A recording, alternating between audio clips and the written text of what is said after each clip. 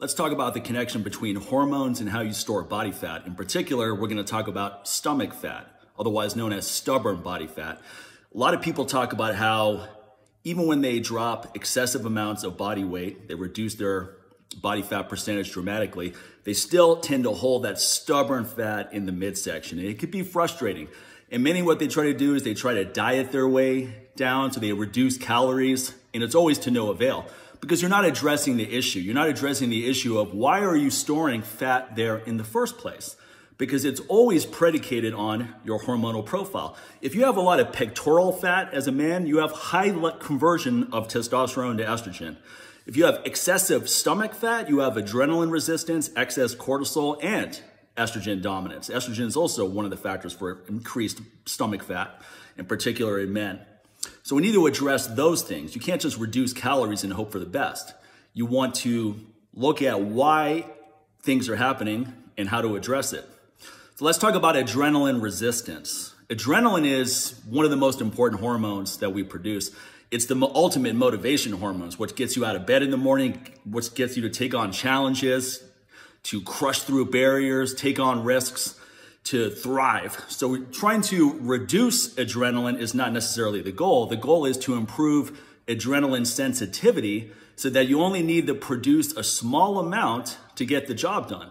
Because what happens is when your body thinks you're stressed, or rather when your mind thinks you're stressed, it's going to produce excessive levels of adrenaline, which is going to cause excessive storage of calories in your midsection.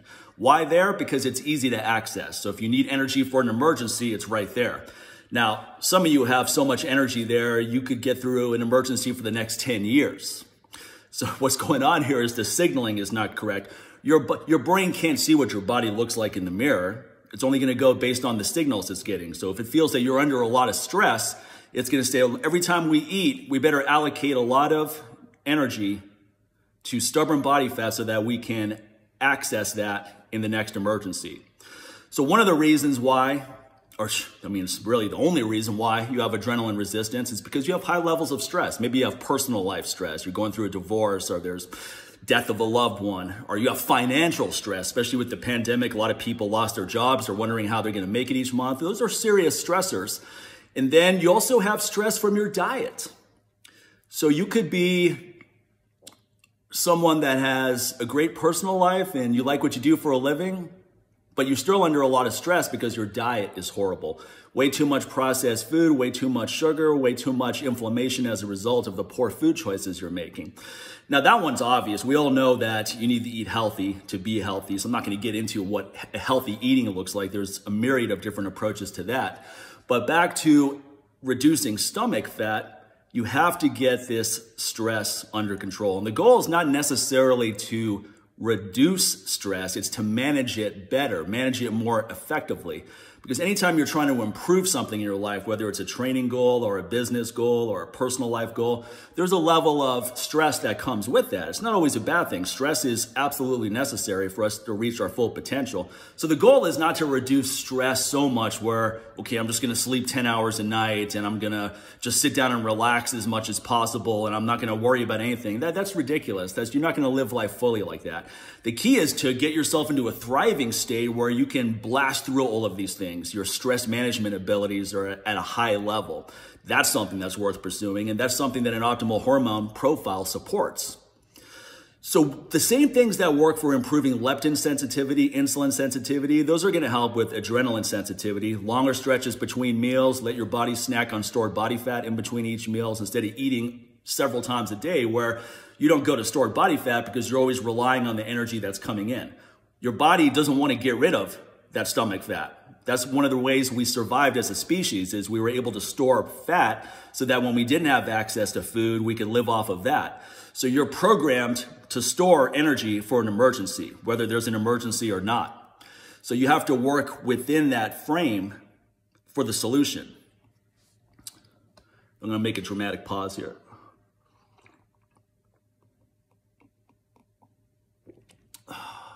All right.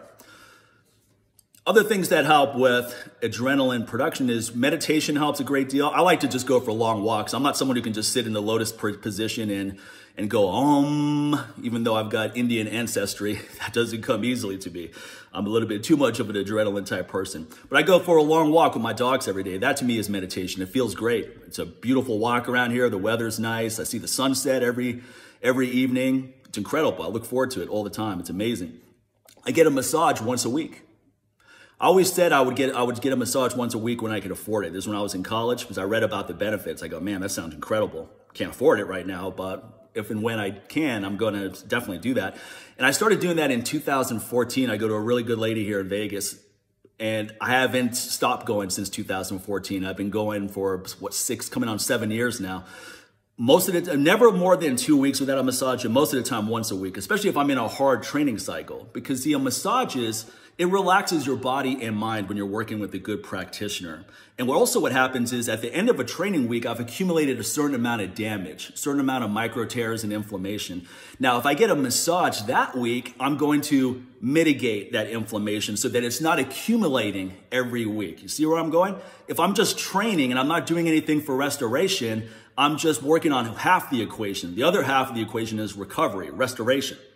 Massage is extremely effective. It's completely underrated. I'm always amazed how many fitness professionals don't get massages. I know some who've never got a massage or maybe a couple times a year. You don't know what the fuck you're missing out on. You're out of your goddamn mind.